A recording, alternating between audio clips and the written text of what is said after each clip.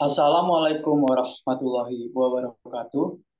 Dalam kesempatan ini, kami akan memaparkan hasil diskusi kami mengenai topik bahasan fungsi politik bahasa guna memenuhi tugas mata kuliah perencanaan bahasa Prodi Sastra Indonesia.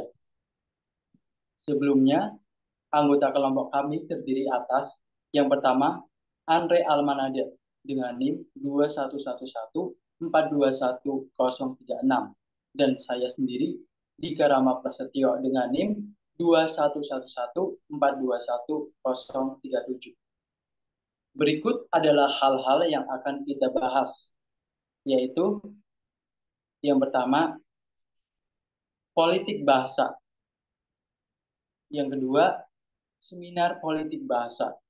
Yang ketiga, fungsi politik bahasa. Dan yang keempat, kedudukan dan fungsi bahasa Indonesia. Memasuki bahasan yang pertama, yaitu politik bahasa. Politik bahasa adalah kebijakan yang dilakukan oleh pemerintah untuk mengarahkan perkembangan bahasa.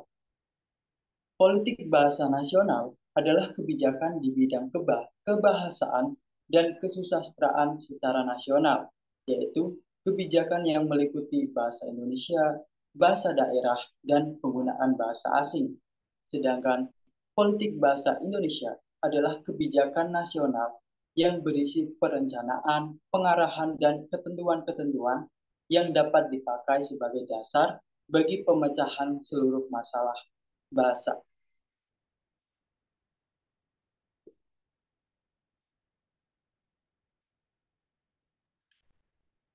Baik, pembahasan yang kedua adalah tentang seminar politik bahasa.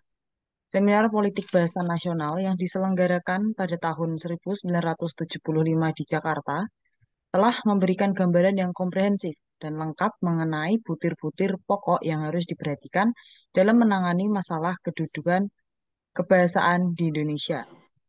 Hasil seminar tersebut memuat rumusan dengan tiga macam tajuk, yaitu yang pertama adalah kesimpulan, kemudian pendapat, dan yang terakhir adalah usul. Baik, yang akan kita bahas pada kali ini adalah uh, kesimpulan tentang seminar politik bahasa.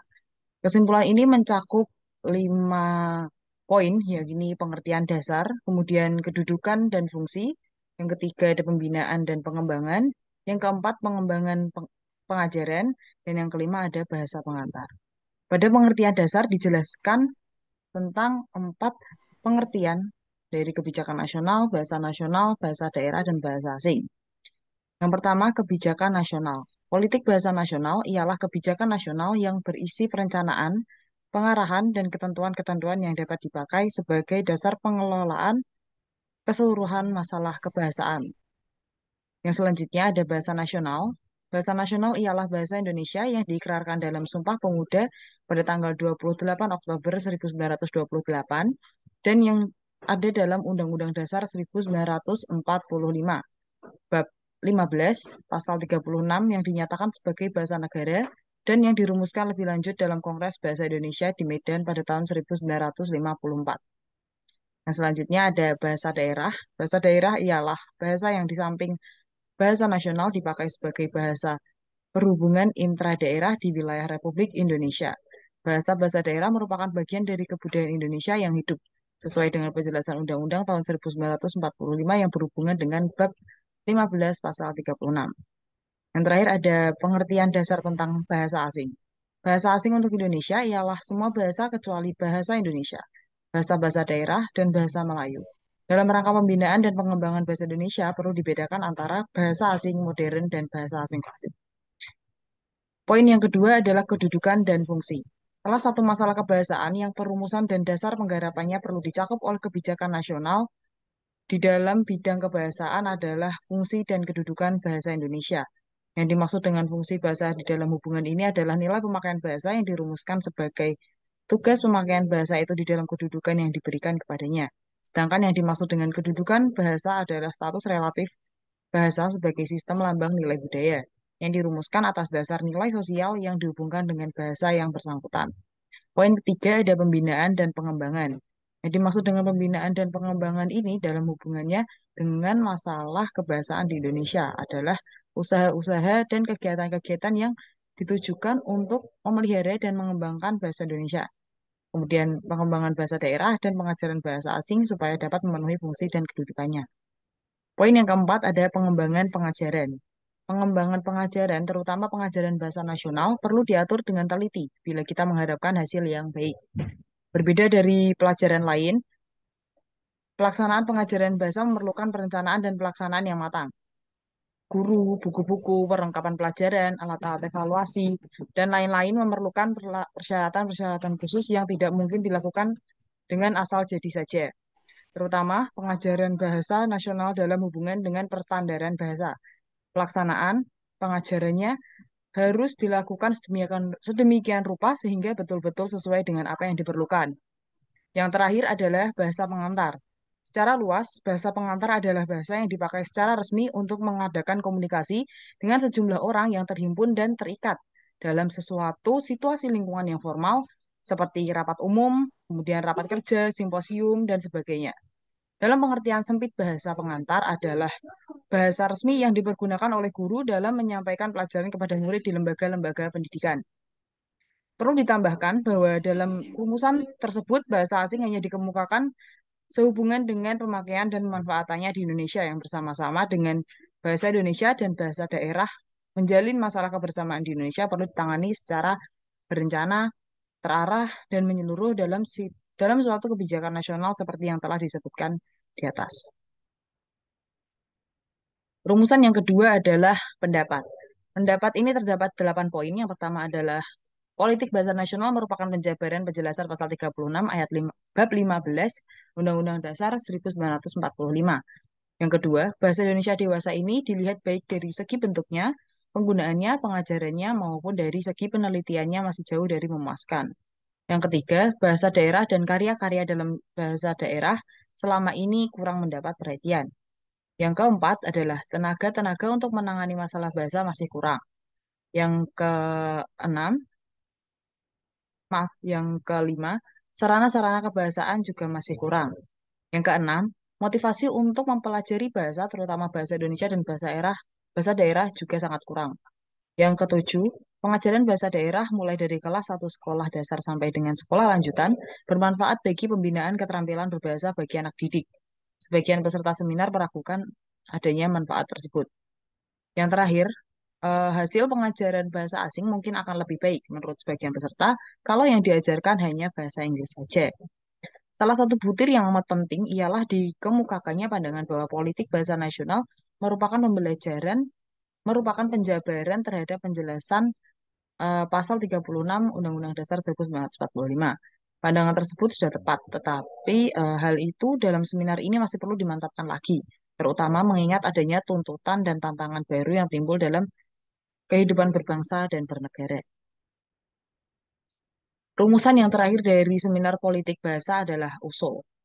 Usul ini terdapat tiga poin. Yang pertama adalah seminar politik bahasa nasional mengusulkan kepada pemerintah pusat dan pemerintah-pemerintah daerah agar turun tangan dalam usaha pengindonesiaan nama-nama asing yang masih dipakai untuk badan pemerintah, lembaga resmi, dan badan usaha umum seperti hotel, bank, dan gedung pertemuan. Poin yang kedua adalah seminar politik bahasa nasional uh, mendesak supaya usaha penerjemahan yang berencana segera dilancarkan.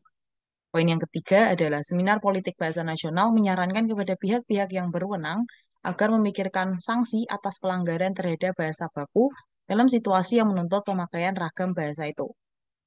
Dari tiga butir rumusan yang menyangkut pengindonesiaan nama-nama asing, penerjemahan, dan pemberian sanksi atas pelanggaran terhadap bahasa baku dalam situasi yang menuntut digunakannya ragam bahasa baku tersebut.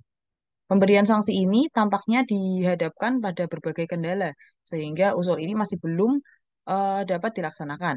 Apalagi dalam suasana dan semangat gerakan reformasi yang masih tetap bergelora seperti sekarang ini, usul tersebut uh, akan dirasakan sangat tidak tidak populer dan pasti memiliki tingkat kesensitifan yang tinggi sehingga hal itu diperkirakan uh, akan menyudutkan posisi pemerintah pada umumnya dan posisi pusat pembinaan dan pengembangan pada khususnya.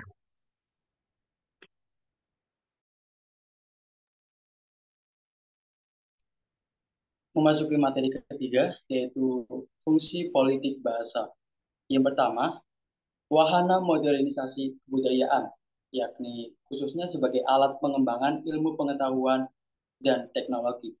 Yang kedua, wahana aspirasi bangsa ke arah pendemokrasian masyarakat, di mana bahasa Indonesia disepakati pada peristiwa Sumpah Pemuda pada tahun 1928 karena cirinya yaitu sebagai bahasa yang demokratis dan tidak mencerminkan status stratifikasi sosial pada pemakainya. Yang ketiga, memberikan dasar dan pengarahan bagi perencanaan serta pengembangan bahasa nasional dan pada waktu yang sama memberikan jawaban atas pertanyaan-pertanyaan pokok yang berhubungan dengan yang pertama, fungsi dan kedudukan bahasa nasional dibandingkan dengan bahasa-bahasa lain. Yang kedua, penentuan ciri-ciri bahasa Indonesia yang baku. Yang ketiga, tata cara pembakuan dan pengembangan bahasa nasional. Dan yang keempat, pengembangan pengajaran bahasa nasional pada semua jenis dan tingkat lembaga pendidikan, mulai dari tingkat taman kanak-kanak sampai dengan tingkat perguruan tinggi. Fungsi yang keempat, memberikan dasar dan pengarahan bagi masalah bahasa nasional di dalam hubungannya dengan yang pertama, pendidikan dan pengajaran di dalam dan di luar lembaga-lembaga pendidikan. Yang kedua, pelaksanaan administrasi pemerintahan. Yang ketiga, pengembangan ketenagaan baik di kalangan pemerintah maupun di kalangan nasional. Eh, maksud saya di kalangan swasta. Yang keempat, pengembangan kesusastraan nasional. Yang kelima, pengembangan kebudayaan nasional. Yang keenam, peningkatan mutu dan jumlah bahan bacaan umum. Yang ketujuh, peningkatan mutu persurat kabaran dan siaran radio serta televisi. Dan yang kedelapan, penulisan buku-buku ilmu pengetahuan, baik dalam bentuk karangan asli maupun dalam bentuk terjemahan.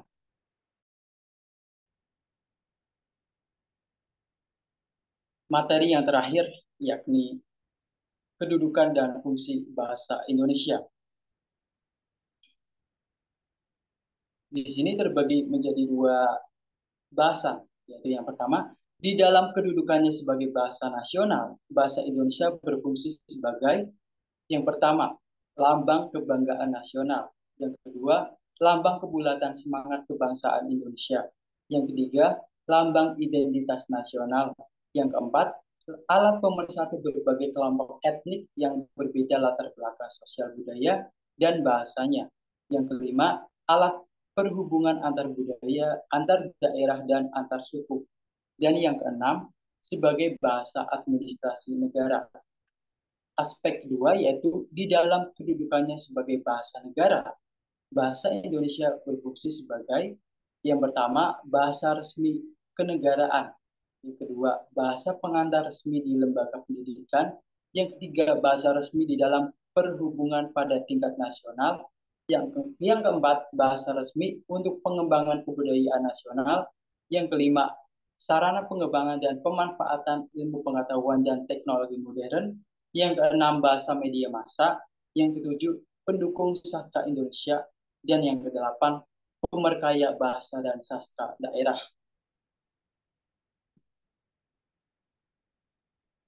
Baik, telah selesai sudah pembahasan kita mengenai politik bahasa.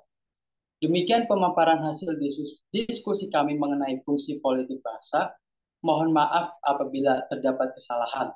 Semoga apa yang telah kita bahas kali ini dapat bermanfaat. Sekian, terima kasih. Wassalamualaikum warahmatullahi wabarakatuh.